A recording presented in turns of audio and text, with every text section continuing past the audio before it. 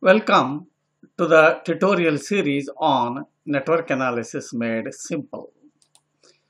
In this session, we shall discuss on voltage and current sources. Friends, do you know why the study of sources is so important?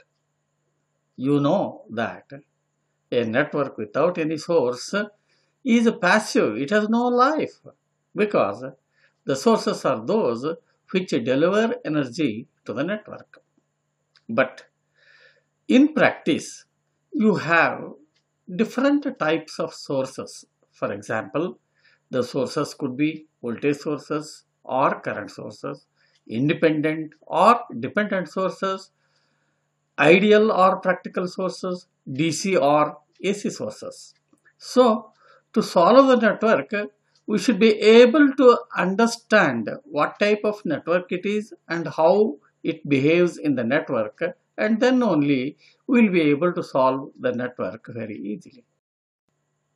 First, let us consider the ideal DC voltage source. The ideal DC voltage source is defined as that which is capable of delivering a specified DC voltage across its terminals irrespective of the network configuration connected across it. It is called as ideal source because its internal resistance is assumed to be zero. Then, what is a practical DC voltage source? Again, a practical DC voltage source is one which is capable of delivering specified voltage across its terminals irrespective of the network configuration connected across it. In this case, the internal resistance is shown to be connected in series with the source as shown in figure. Friends, till now we discussed about the ideal independent DC voltage sources. Now let us see what is an ideal DC current source. Again, an ideal DC current source is defined as that which is capable of delivering specified current through its terminals irrespective of the network configuration connected across it. And similarly, it is called as ideal DC current source because its internal resistance is assumed to be zero. Now, let us see what is practical DC current source. Again, a practical DC current source can be defined as that which is capable of delivering specified current through its terminals irrespective of the network configuration connected across it, but its internal resistance is shown to be connected in parallel with the source as shown in figure. Friends, before we discuss about AC sources, we shall see what is the main difference between DC and AC sources. For example, in DC sources, the quantities such as voltage, current, resistance, all are represented only in magnitude. Whereas in AC sources, all the quantities such as voltage, current, resistance, inductance, capacitance or impedance all are represented both in magnitude and phase angle or all are represented as phasors. But remember, power is absorbed or consumed only in resistance in both DC and AC circuits because power consumed in pure inductance and pure capacitance is zero. First, let us discuss about ideal and practical AC voltage sources.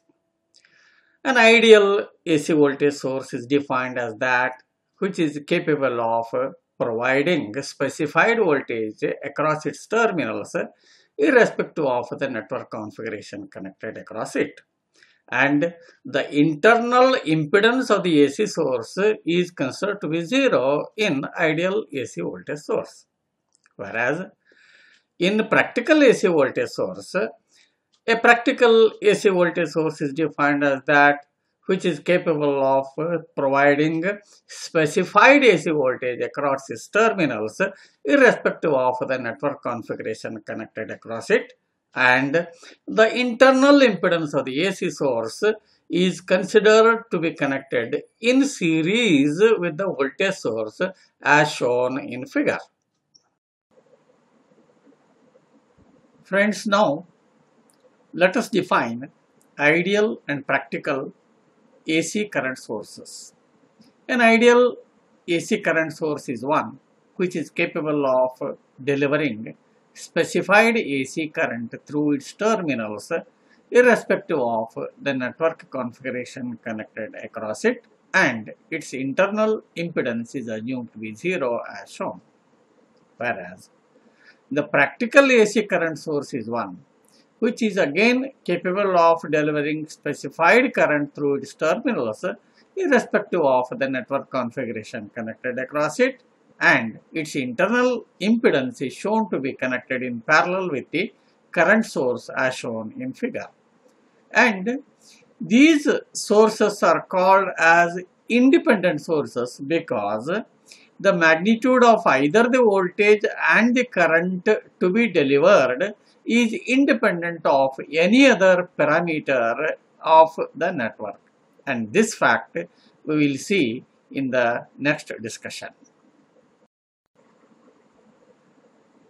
Friends, as I discussed earlier, the sources could either be independent sources or they could be dependent sources. The dependent sources are also called as controlled sources. As you know, an independent voltage or current source is one whose magnitude of the voltage or the current to be delivered is entirely independent of any other parameter of the network whereas dependent or controlled sources voltage or current to be delivered is dependent upon some parameter of the network. For example, the voltage source could be controlled either by the voltage across any element or across any branch of a network or it could be dependent upon the current flowing through the network element or current flowing through the branch of a network. Hence, dependent or controlled sources are categorized as voltage controlled sources and current controlled sources and we shall see the details of this in the next, next discussion. Friends, first let us discuss about the dependent voltage sources or these also are called as controlled voltage sources and the voltage to be delivered by such sources could either be controlled by either the voltage or the current in any other part of a network. For example, the dependent voltage source value may be dependent on either the voltage across any other element or across any other branch of a network. Such sources are called as voltage controlled voltage sources and they are designated as VC, Vs. For example, in the controlled voltage source shown in figure, the voltage Vx is the voltage across any other branch or the element of a network as shown whereas A is some constant and this source is called as voltage controlled voltage sources. Similarly, the dependent voltage source value may be dependent on the current through any other element or through any branch of a network. Such sources are called as current controlled voltage sources and they are designated as ICVS. For example, in the current controlled voltage source shown in figure, the current Ix is the current through any other branch or through any other element of other part of the network whereas B is constant. Therefore, this dependent voltage source is capable of delivering B into Ix volts. And note that all independent sources are represented by a circle whereas dependent sources are represented by a rhombus as shown in figure. The dependent current sources are also called as controlled current sources because the current to be delivered by such sources could either be dependent on the voltage or the current in any other part of the network. For example, the voltage controlled current source shown in figure is capable of delivering C into Vx amperes where C is some constant and Vx is the voltage across any element or across any branch of a network. Such sources are called as voltage controlled current sources and they are designated as VCIS. Similarly, the dependent current source shown in figure is capable of delivering D into Ix amperes where D is some constant and Ix is the current flowing through any circuit element or through any branch of a network. Such sources are called as current controlled current sources and they are designated as ICIS. Friends, let us uh, summarize what we have learned in this tutorial. I hope you are in a position to recognize the controlled sources shown here.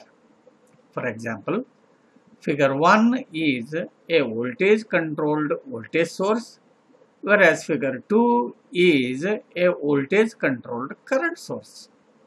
Similarly, figure 3 is a current controlled voltage source whereas figure 4 is a current controlled current source. Similarly, I hope you are in a position to identify the DC sources shown in figure. You see that all the sources shown here are independent sources. For example, figure 1 is an ideal DC voltage source Figure 2 is a practical DC voltage source and figure 3 is the ideal DC current source whereas figure 4 is a practical DC current source. Similarly, figure 1 is an ideal AC voltage source and figure 2 is a practical AC voltage source. Figure 3 is an ideal AC current source and figure 4 is a, a practical AC current source and all are independent sources. Friends, in this tutorial we have just seen how to define different types of sources and how to represent them. But more than this, handling of the sources in a network is very very important. Because the network may contain different types of a number of sources and those sources could either be connected in series or could be connected in parallel.